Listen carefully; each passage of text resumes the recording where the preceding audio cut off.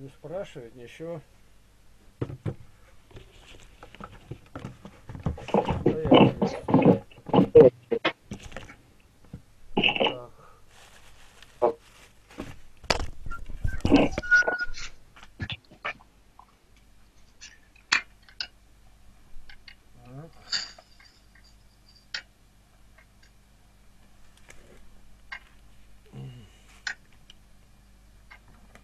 Это- Добрый день.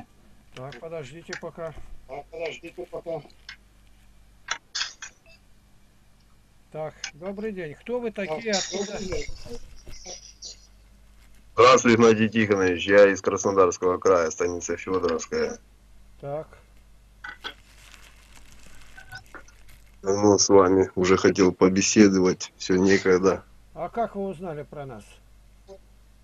А, ну как, у нас интернет расширенный уже по всей стране. Вся страна занимается этим уже.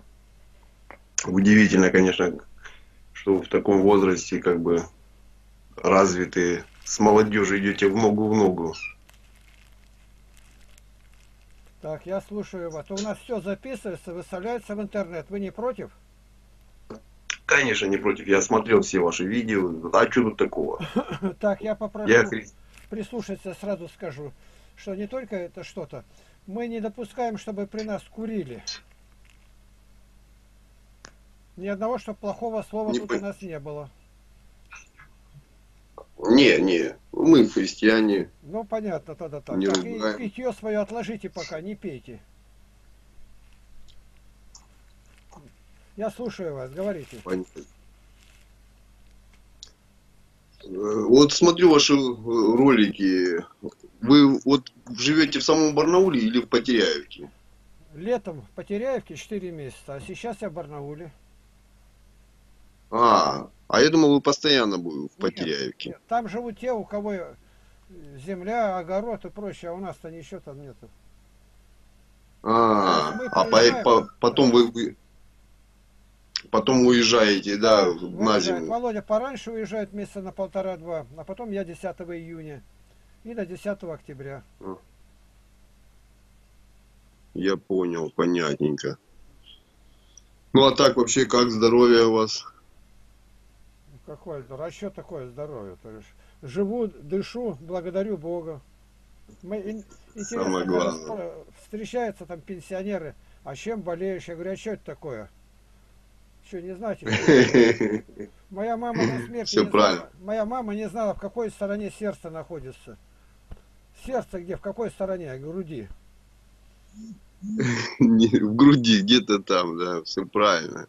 Молодцы, вот в таком возрасте вам молитесь а, и как бы в таком возрасте мало людей найдешь таких активных, позитивных и потому что ленятся.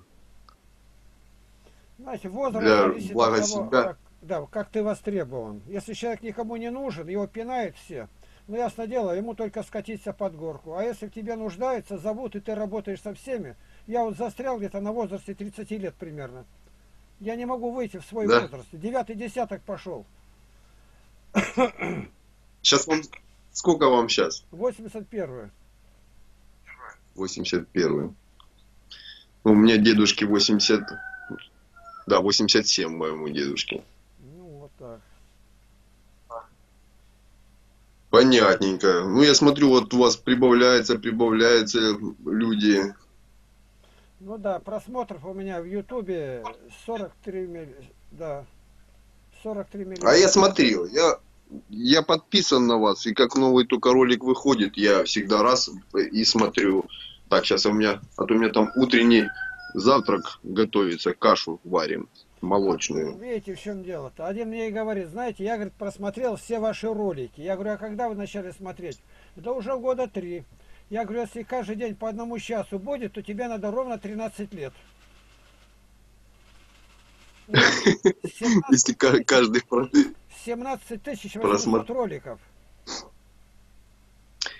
Вот мне, знаешь, Игнатий Тихонович, вот один вопрос. Вот почему вот у нас в Краснодарском крае есть вот блогеры, которые занимаются там, ну, я считаю, они добрым делом занимаются. Вот занимаются э, нашу полицию, наблюдают, снимают. Они все там, убери камеры, там, э, вот неправильно паркуются, они это все снимают, все видео вылаживают.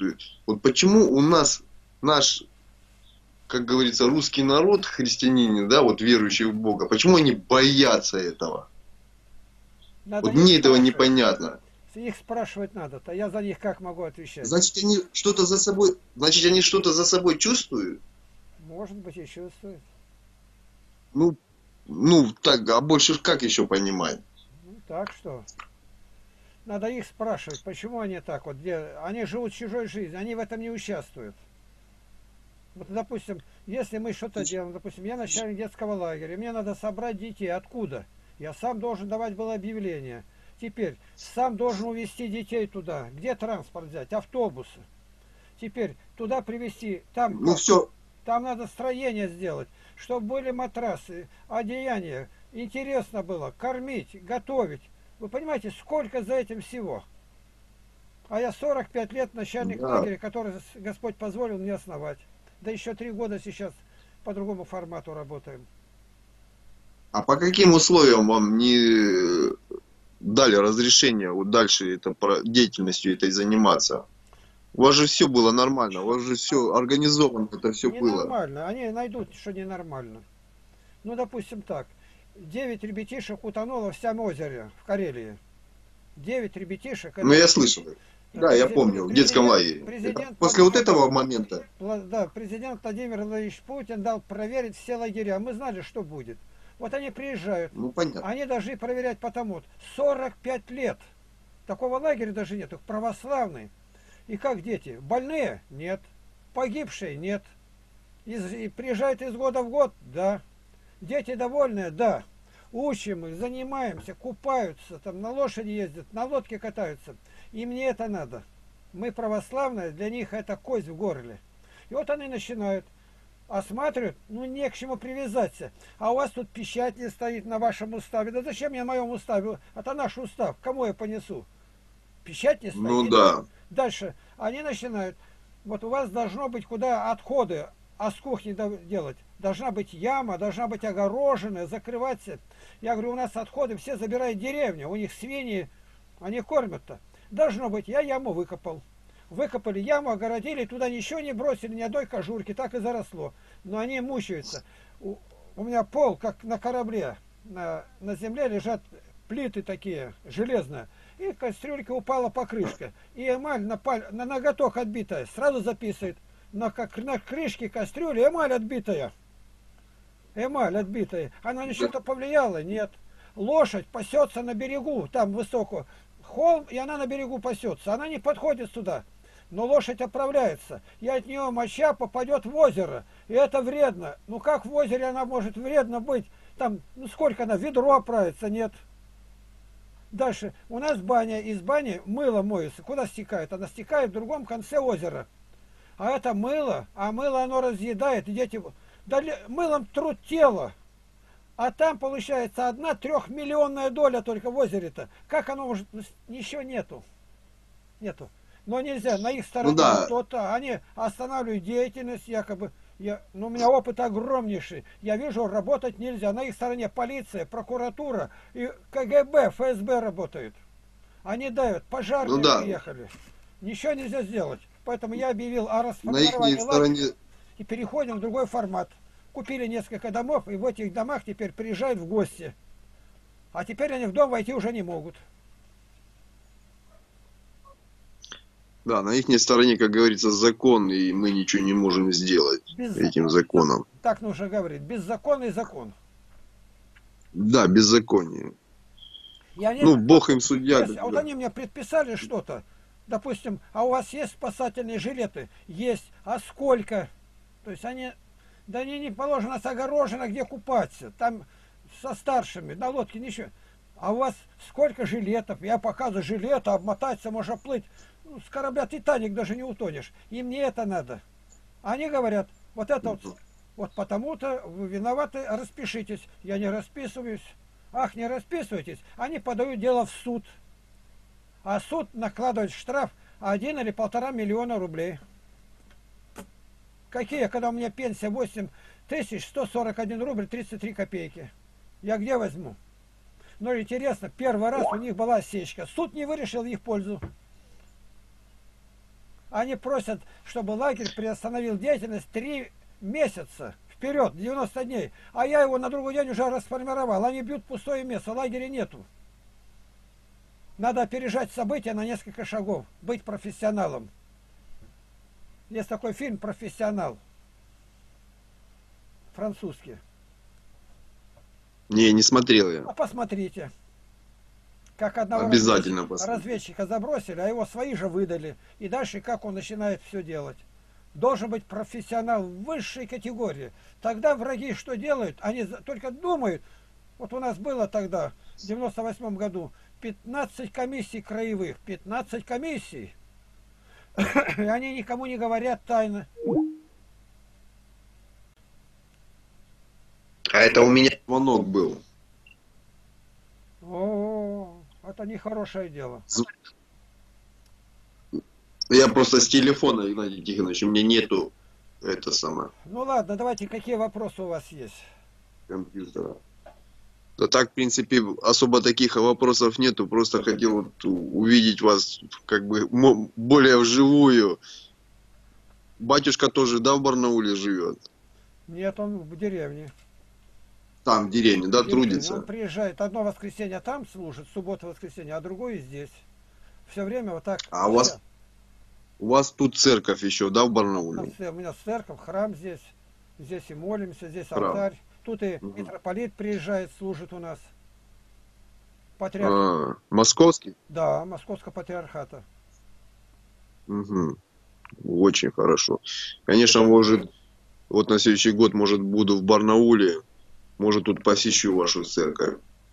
Не Если знаю, всё не получится. Просто так никак. Надо сначала договориться, разрешим, нет. И у нас определенные условия поставлены.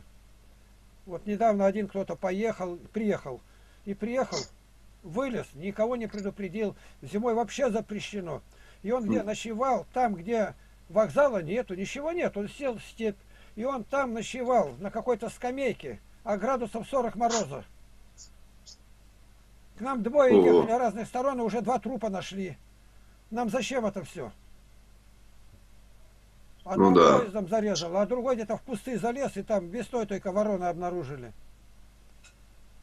У нас в уставе написано, без разрешения нельзя. Вот вы даже зашли, это неправильно. Вы даже сначала было мне написать, но я в конце сейчас поговорим. Я вам скину данные наши. Какой порядок?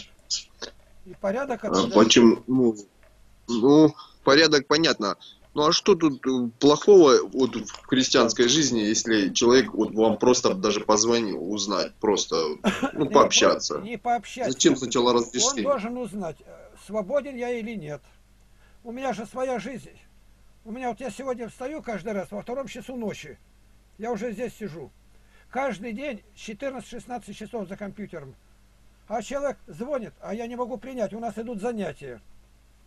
Поэтому у меня определенный... Понятно. Вы работаете за Получается, вы работаете за компьютером или пр- просто свое время просто проводите? Как это провожу?